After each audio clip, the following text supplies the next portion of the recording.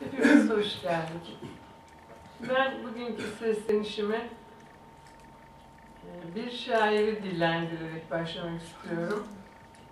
1910-1956 yılları arasında dünyada yaşam sayfalamış Cahit Sıtkı Tarancı'dan Desem Ki isimli bir şiirle başlamak istiyorum. Desem ki vakitlerden bir Nisan akşamıdır. Rüzgarların en ferahlatıcısı senden esiyor. Sende seyrediyorum denizlerin en mavisini. Ormanların en kuytusunu sende görmekteyim. Senden kopardım çiçeklerin en solmazını. Toprakların en bereketlisini sende sürdüm.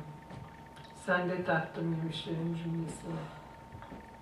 Desem ki sen benim için hava kadar lazım, ekmek kadar mübarek, su gibi aziz bir şeysin.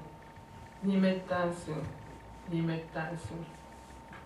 Desem ki inan bana sevgilim inan. Evimde şenliksin, bahçemde bahar ve soframda en eski şarap. Ben sende yaşıyorum, sen bende hüküm sürmektesin. Bırak ben söyleyeyim güzelliğini rüzgarlarla, nehirlerle, kuşlarla beraber. Günlerden sonra bir gün şayet sesini fark edemezsen, rüzgarların, nehirlerin, kuşların sesinden. Bil ki ölmüşüm. Fakat yine üzülme müsteri ol.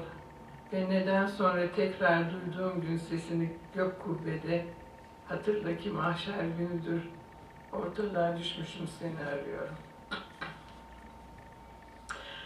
Oralarda bir yerlerde, zamanlardan bir zamanda bir planet almış başını gidiyor ama nereye belli değil. Yolunu mu kaybetmiş acaba? Demin erim arkadaşım da dillendirdi.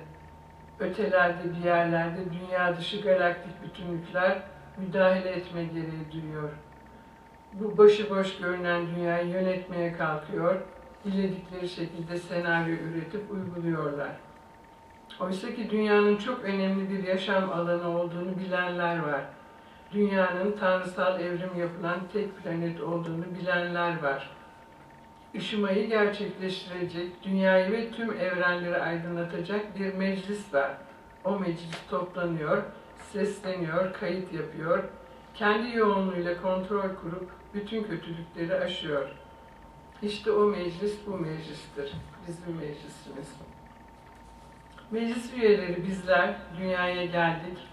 Ama biz dünyaya çile çekmeye, tekamül etmeye veya evrim yapmaya gelmedik. Bizler kontrol kurmaya, yarınlaşmaya gelenleriz.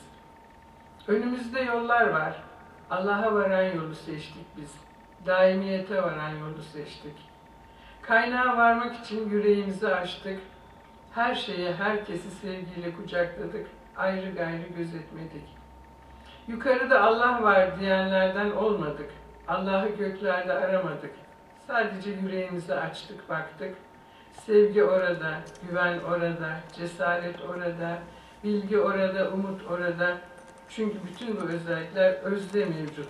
Yeter ki özüne ulaşmayı başar. O zaman Allah'ın sonsuz, sınırsız yüceliğiyle birlikte olduğunu fark edersin. O zaman kendindeki tanrısal gücün farkında olursun, insan olduğunun farkında olursun. Evrenlerin yaratıcı kaynağından ayrı olmadığının farkında olursun. İşte o zaman ben de varım dersin. Artık sen bütün için yararlı olansın, bütünü kucaklayansın, bütünsün. Artık çaldığın tüm kapılar çaldığın tüm hak kapıları sana bir bir açılır, sen bütün olarak ol dersin.